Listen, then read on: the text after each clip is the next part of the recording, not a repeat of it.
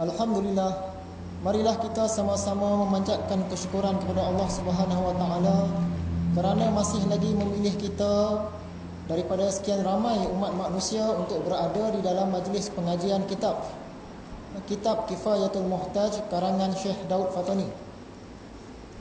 Sememangnya kita seharian memang sangat sibuk. Saya sendiri pun hampir setiap hari keluar dan pulangnya malam.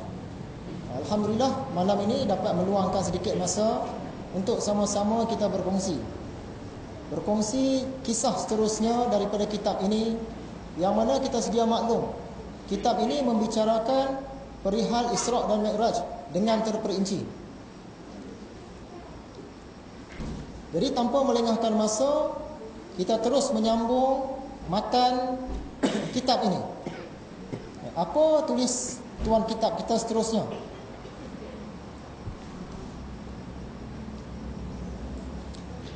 Dan antara berjalan Nabi SAW tiba-tiba berdapat akan satu orang tua. Satu orang tua duduk jauh daripada jalan menyeru dengan katanya, "Hadir oleh Muhammad." Sedang Nabi berjalan nak menuju ke Baitul Maqdis, tiba-tiba nampak satu orang tua duduk jauh daripada jalan panggil. Panggil Nabi Muhammad. Maka berkata Jibril, "Berjalan hai Muhammad, jangan berhenti." Maka sabdanya, siapa orang tua ini? Maka katanya Jibril, inilah aduh Allah Iblis. Ha, rupa-rupanya orang tua di tepi jalan tu tadi ialah Iblis. Dia memanggil Nabi Muhammad. Iblis berkehendak ia bahawa mencenderungkan kepadanya nak panggil Nabi Muhammad ni supaya Nabi Muhammad cenderung kepada Iblis. Nasib baik malaikat Jibril dia halang. Maka berjalan ia tiba-tiba berdapat satu perempuan yang tua.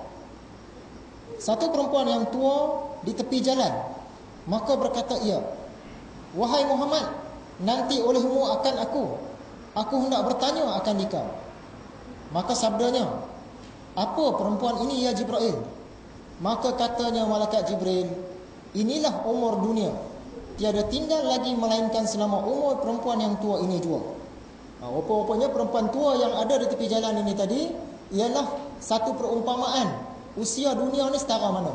Ha, dah tua sangat dah usia dunia ni. Ya, kalau ikut kajian sains dia kata usia bumi ini 4.5 bilion tahun kalau tak silap saya. Ha, dah tua sangat dah. Ya, dah menuju kepada kiamat. Jadi ada dua cerita. Ha, dalam nota yang saya berikan itu Ha, dikatakan cerita Nabi Muhammad dia nampak orang tua yakni iblis memanggil dia cerita ini tidak ada sandarannya tidak jumpa sandarannya. Jadi cerita ini kita tak boleh jadikan hujah kita tinggal. Dan cerita orang wanita tua iaitu dunia memanggil Nabi Muhammad pun tidak jumpa sandarannya. Ha, sandaran daripada hadis-hadis yang kukuh tak ada. Ya? ha, jadi dua cerita ini kita simpan Sampailah sekarang Nabi Muhammad ke Baitul Maqdis. Kemudian maka berjalan ia hingga sampai kepada Madinah Baitul Maqdis. Ha, tuan kitab kita kata Madinah Baitul Maqdis, bukannya bandar Madinah eh. Ha, Baitul Maqdis di Palestin. Masuk Nabi SAW pada pintu kanan sehingga sampai kepada masjid. Maka turun ia daripada burak, yakni tunggangan dia tu. Maka mengambil Jibril akan burak menuntun akan dia hingga sampai kepada sakhrah. Sakhrah ni batu. Ha, batu tempat ditambat borak tu tadi. Satu batu yang terhampir, maka dicucukkan dia dengan tangannya. Maka tabik batu itu. Ha, binatang tunggangan Nabi Muhammad tadi ni iaitu borak, malaikat Jibril ambil dan cucuk dia punya tali itu ke batu. Dan batu ni pun tabik. Ha, cuma nak bagi tahu awal-awal cerita batu ni tabik dia tak ada sandaran.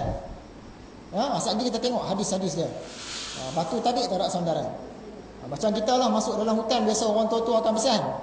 Ha, kalau nak kencing ke nak lalu satu-satu kawasan ke kena tabik dulu. Tabik kepada siapa? Tabik kepada tuan tanah. Ha, siapa dia tuan tanah? Iaitu jin. Ha, kita panggil tok. Ha, tok nenek anak cucu tumpang lalu. Tok nenek anak cucu tumpang kencing. Ha, masa bila kita jadi cucu jin tak tahu? Ha? Tapi kita panggil tok lah. Ha, sebab apa panggil jin ni tok? Sebab usia dia tu panjang. Ha, manusia umur 70-80 tahun meninggal. Tapi kalau jin ha, ribuan tahun.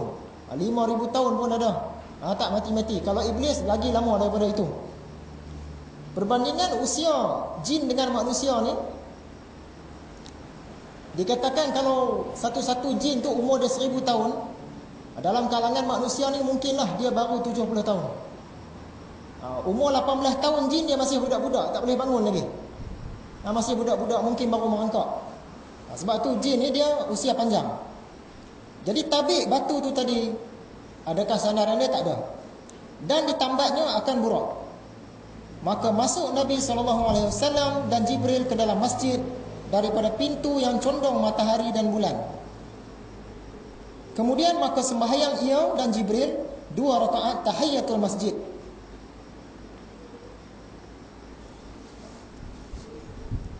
Ha, kita tengok hadis dia. Ini kata tuan kita. Ha, dalam kitab ini ada cerita yang kukuh, ada cerita yang tak kukuh. Ada cerita yang mungkin tak betul. Hadis riwayat Imam Baihaqi Kata Nabi Muhammad, sesampainya di Baitul Maqdis, aku menambat binatang tungganganku dengan tali. Ha, Nabi Muhammad kata dia sendiri yang tambat. Ha? Kalau ikut kata tuan kita tadi, malaikat Jibril yang tolong tambat. Ha, boleh jadilah dua-dua sekali tolong tambat ya, tak tahulah kita. Tapi ikut hadis ini dia kata Nabi Muhammad yang tambat. Menambat binatang tungganganku dengan tali yang digunakan oleh para nabi terdahulu. Ha, ada pula satu tali yang ikat di batu tu mungkin dah ada tersedia satu tali tak tahu rupa macam mana. Ha, ini benda gaib lah ni. Nabi-nabi zaman dulu dah pakai dah tali tu. Ha, tapi kalau kita pergi cari sekarang tak jumpa lah kan. Ha, dari mana datang tali ni tak tahu.